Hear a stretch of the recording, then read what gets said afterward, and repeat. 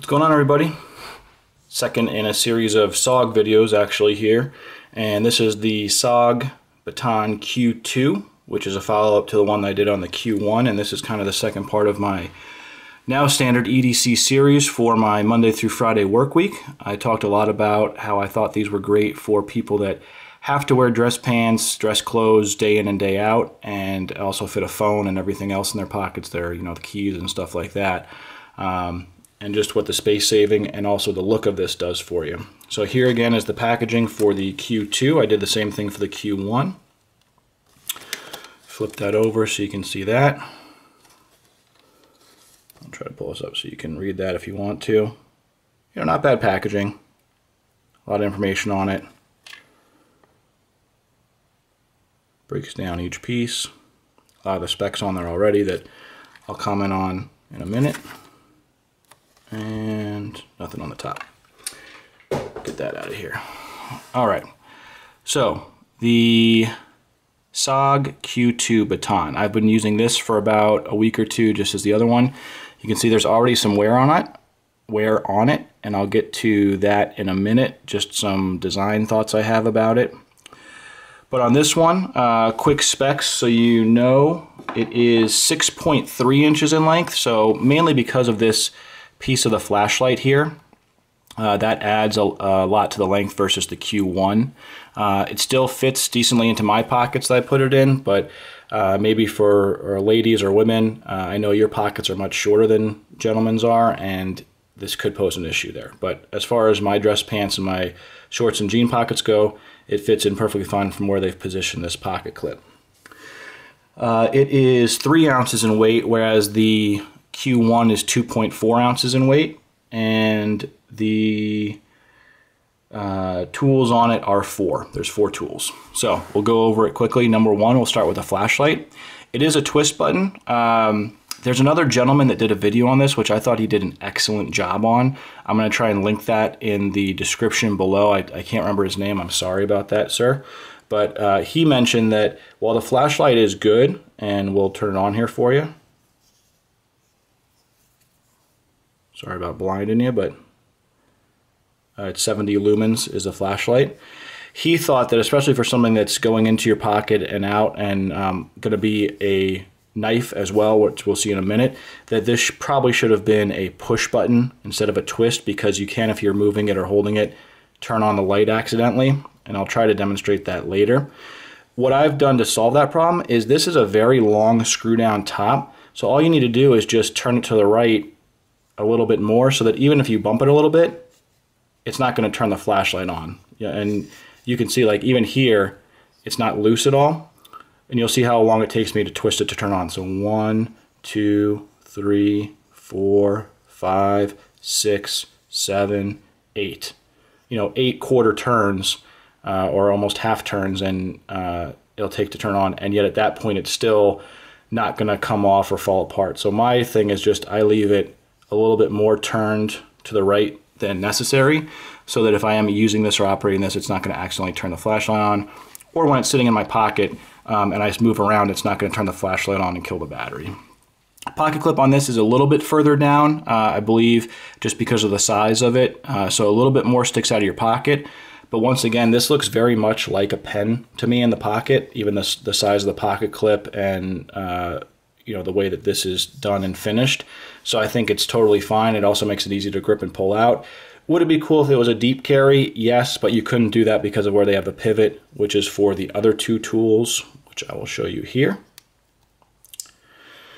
So I believe this is exactly the same as the Q1. You have a flathead and you have a bottle opener. And once again, these both function very well. I've used them both on the Q1 and I wouldn't understand why this one on the Q2 wouldn't function the same way. I did a tightening of a couple screws with the flathead and I opened a bottle or two with uh, the bottle opener and we'll go over just the snappiness of that. So it's going to slip joint.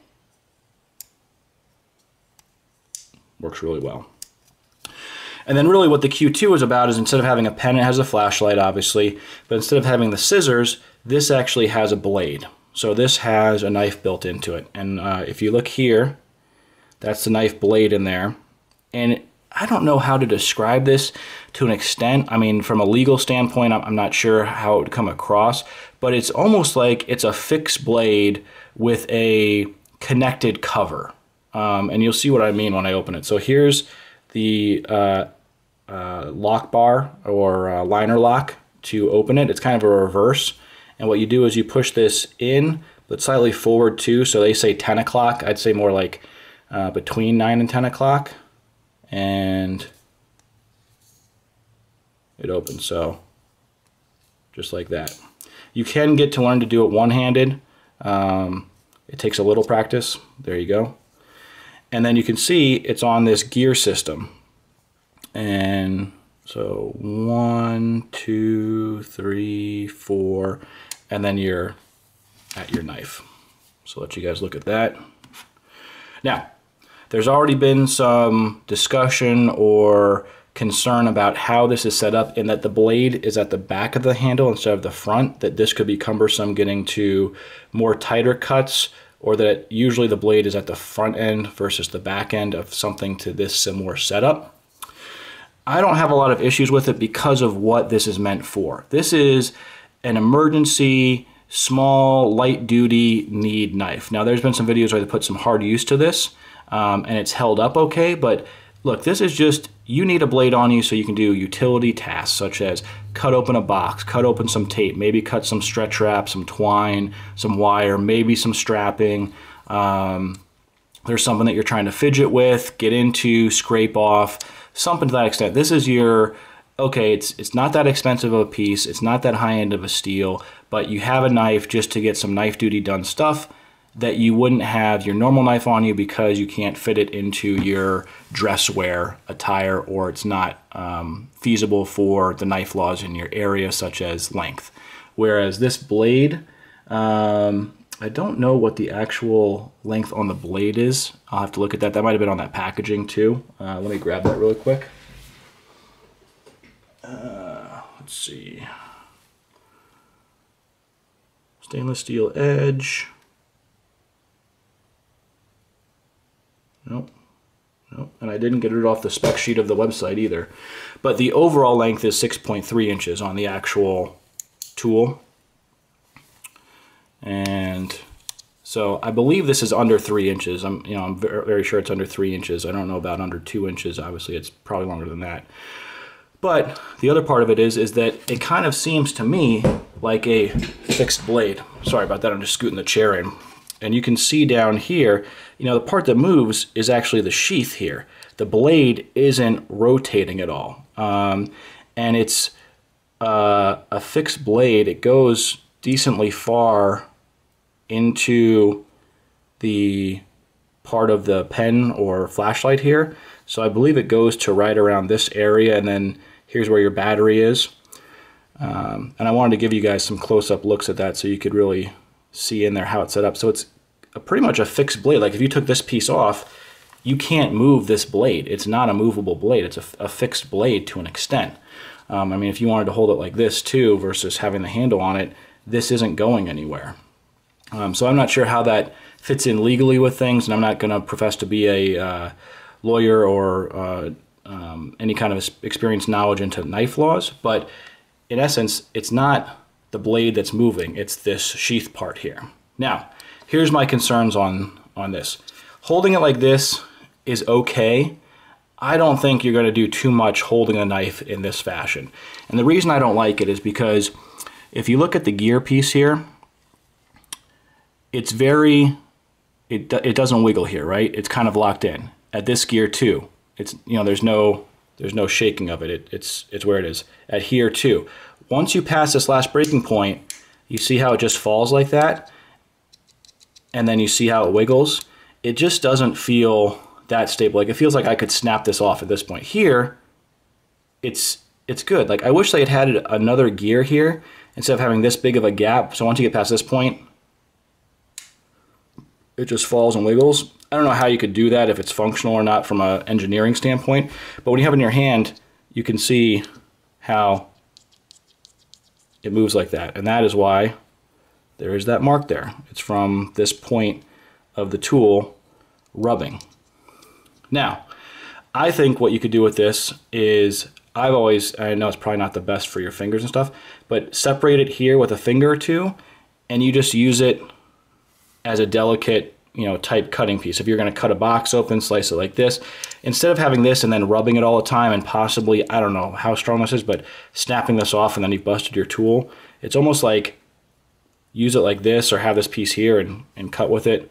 Maybe that's not the best, but I think you're going to be doing more type specific cuts like that instead of hunting around. Now, if you wanted to, I mean, you can even like hold in the reverse grip. The nice thing is it fills up your hand, you know, um, and if you hold it really tight, yeah, it's not going to move too much. But I just don't like when you're holding it like this and you just feel this piece moving around down there. I think it just get it out, do your quick cuts you need to, and put it away.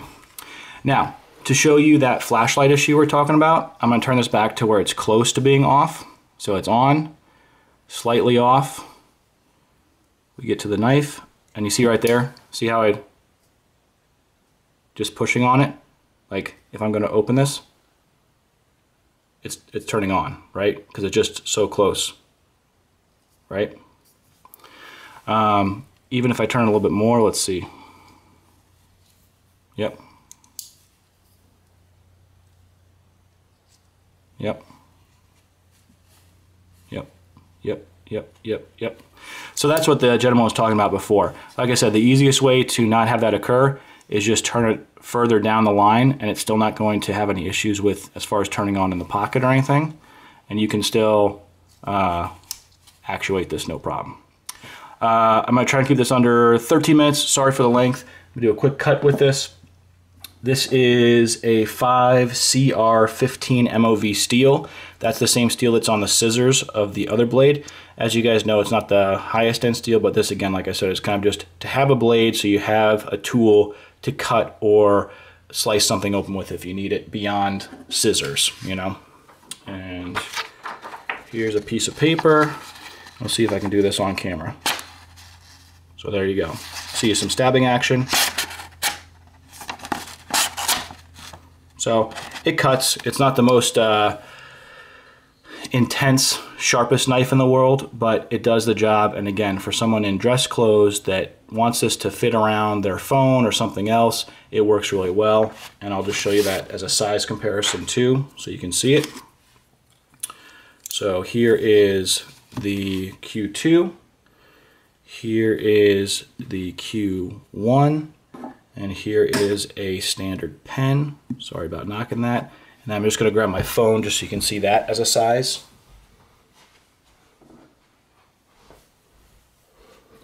So this is the phone and you can see if this is in my pocket and this is next to it, how much that easily fits size-wise into a dress pant pocket versus a knife that's probably double the width and is kicking into it or you know pushing this over hard to fit there. So hope that's a good uh, review for you guys good information. Um, there's also the q3 and q4 which are multi-tools. Uh, they have more than four options on them they're also larger in size in both length and width. I haven't really decided to get into those yet. This is just what I wanted for my dress clothes EDC uh, this goes next to my phone because it is the smaller of the two in my right pocket. This goes my left pocket along with keys or anything else. And for the last week and a half, they've worked really well. All right, I'll catch you guys later.